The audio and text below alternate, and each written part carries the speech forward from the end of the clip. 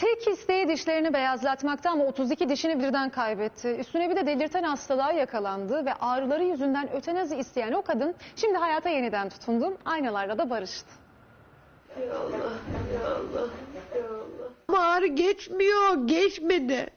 Ben ötenazi istiyorum ya. Gözyaşları içinde ötenazi istiyordu. Aynaya bakmaya korkuyordu.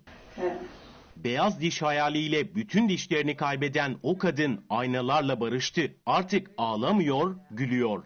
Ya böyle e, aynaya bakıp da ne bileyim gülmek bile çok güzel. 41 yaşındaki Sunay Öztürk dişlerinin sarılığından rahatsızdı. Emekli ikramiyesini alınca dişçiye koştu. Bembeyaz dişlerim olsun dedi.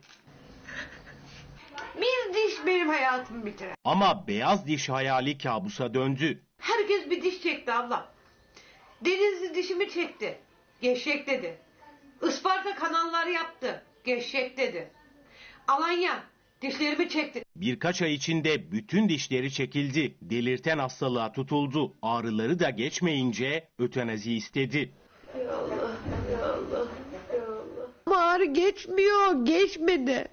Ben ötenazi istiyorum ya. Sunay Öztürk için devreye Sağlık Bakanlığı girdi. Şu anda GATA'da tedavi görüyorum. Yani ilaçlarla duruyorum şu anda. İki senelik bir süreç dedi doktorum. Ağrıları azaldı, protez dişleri takıldı. Dişleri takılınca bu halden bu hale geldi.